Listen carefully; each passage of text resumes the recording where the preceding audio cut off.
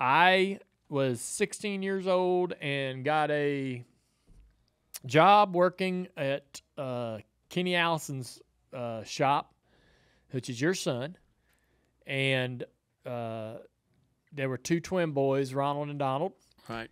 and I didn't know your boys at all. I knew you, uh, and I knew who you were.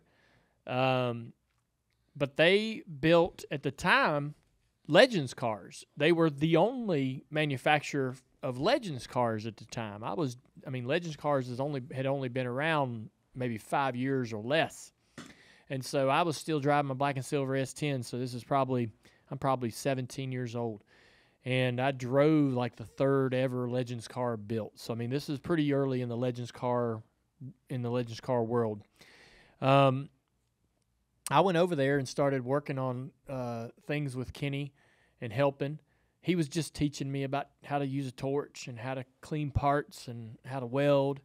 In the back of the shop, they actually built Davey's cup cars for Robert Yates, and um, and the uh, that was pretty incredible to go back there and see, uh, you know, the Texaco Havoline number 28 car getting a new front clip or getting, you know, a brand new car being built.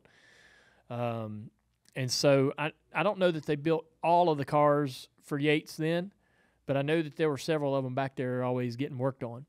And so, um, and I remember, and it was in Salisbury, out out up on uh, 70 or 40. Highway 70. Highway 70, right? And I just, I mean, it's literally uh, five miles from my house today. Mhm. And uh, um, but anyways, I got a I got to know Kenny and Ronald and Donald. I loved them. I still uh, have my paycheck stubs and a printout of my first paychecks from them. Kenny gave it to me in a frame. Do you remember how much? It wasn't much, but it was enough. It was more than I ever made. That's right. Let me tell you a little bit about that. Okay. Pat got that ready. We went down to Talladega and did the uh, presentation on the back straightaway. Uh, we gave Dale that yeah, the canceled paycheck for six weeks, and the total thing wasn't but eight hundred something dollars. And I, Amy was sitting there at the time. I said a little bit different now than Amy. hey, no, I, I tell you what though, that eight hundred dollars. I mean, Yeah. that's more than what you would have had. Now, what was he like as an employee? Well, uh, I think he did all right. Kenny, he talks about him a little bit. Of course, Kenny talks about all of them, but Yeah. uh, uh, it was really unique the way that all transpired. Uh, Dale Senior called Kenny and said, "Can you give Dale Junior a job?" He said, "I can't do anything with you. and Kenny said, "Send him up." That's how he came up there. Talking about that, Dale. Talking about those cars in the back to twenty eight. Uh, Kenny built some pretty good Busch cars at the time, and quite a few good Winston Cup Yes. cars. You know, he built a thirty car that that uh, Michael Waltrip sat on the pole at Richmond with, and you know, then they brought it back home and cut it up. And Kenny was close to banjo because of my relationship with banjo. But anyway, Kenny Allison was the first one to manufacture Legends cars yes, what happened, Humpy called me. They were trying to have that race at Charlotte, and Rodney Combs was building the cars at the time, and they weren't going to have the cars ready. And he wanted to know, could my son do it? I said, you'll have to ask him, not me. Well, Kenny agreed to do it. They finished the last car one hour before the race started at Charlotte. You know, the legend race with me and Bobby and all the old guys driving. But anyway, uh, Kenny Allison and Ronald Donald Allison Brothers race cars built 780 Legends, Legends, cars. cars. And then another 75 framed after Humpy took it away from them. Yeah, now it's 600 racing. That's it's a Yeah, well, they, you know, it was a bad deal for yeah, uh, the, the Legacy car, which is being built now 30 years. Allison Legacy. Allison Legacy car. They're still racing. They're still running. Pat does the whole series, and uh, you know they're really a good car for for a youngster to learn to drive in. Better than a Legends car. I liked the Legends car. It was very very unique to drive because it had a lot of horsepower and a little bitty car. But a Legacy car teaches you how to drive. And in order to run good in a Legacy car, you got to have your gas pedal mashed to the floor. So I mean, it, it's uh, it's a little different, but it's not. Yeah. So um, the uh, rumor is so I ran I the car that I ended up ri- driving when I was 16 was the third car ever built, and the rumor is that that car is still out there somewhere. I've heard that it's sitting in a building somewhere that y'all have. Either you own it, you own the building, or Kenny owns it. Yeah, um, Pat could probably tell you better than that, me, uh, uh, but it is still in existence. uh, believe me. um, you know, we, we, we have several cars at the museum in North Carolina Museum uh, at Mooresville. Okay. And, uh, I don't know for sure where your car is, but it's somewhere around. somewhere. So anyhow, I wanted to tell you, and you might have heard, I don't know, but uh, I started working on a project uh, here recently about the 1979 season, and you play a big role in that year. Um, and I wanted to talk about that. It's it, but before we get to 1979, um, I want to kind of encompass your cup career to that point. You raced um, for Banjo Matthews in the 27. Uh, beautiful race car.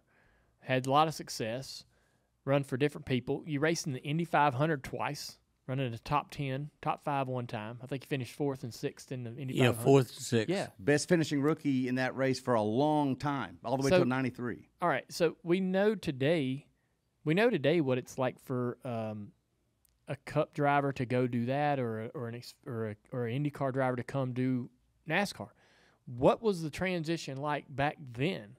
Was it was it totally foreign to you to go drive something like that? No, it really wasn't, Dale. You know, I, I spent three years actually driving super modifieds in Mobile, Pensacola, and everything. You know, mm-hmm. I had a, a 1,426 pound car with a three quarter stroke Chevrolet injected engine in it with a wing on top. And if your belt was tight enough, you could run as fast as you want to run. and, and I loved it.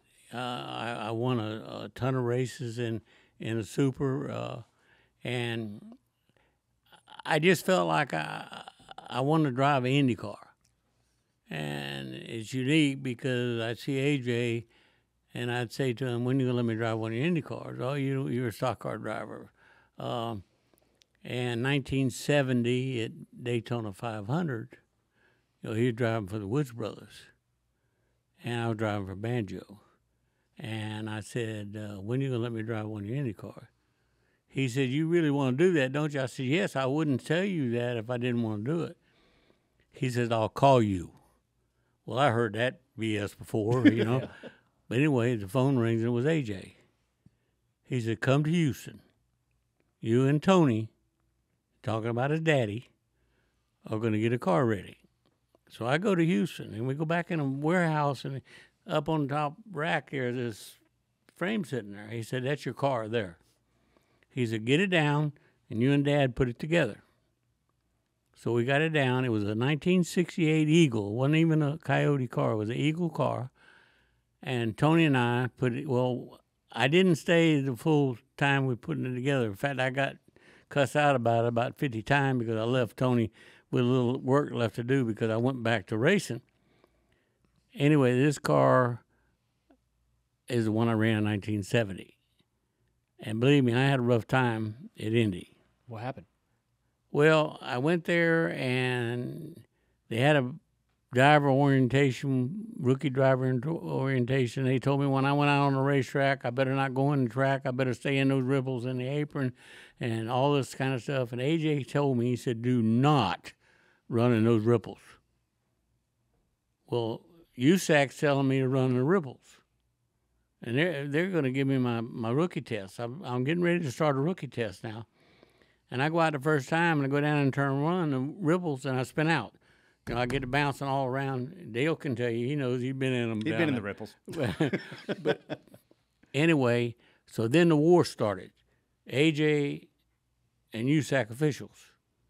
Oh, I mean, it was it was terrible. And here I am standing there with my shoulder up around my ears, you know, because I I, I wanted to hide. And when it got done, AJ turned around to me. He said, "You listen to what I tell you to do, not what they tell you to do."